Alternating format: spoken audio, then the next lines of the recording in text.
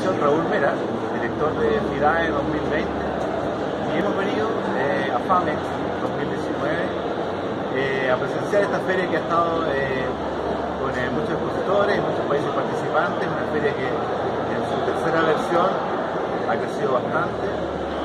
Y, como feria también tenemos un, un canje en la cual hacemos una ayuda mutua de participación para, eh, para, tener, para captar clientes, para captar empresas que vayan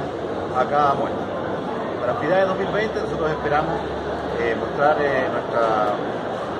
nuestras empresas y de cantidad de países, que son alrededor de 60 países que participan en FIDAE y no solamente con el rubro de la defensa, también queremos darle énfasis a la aviación comercial y la aviación civil, más los servicios.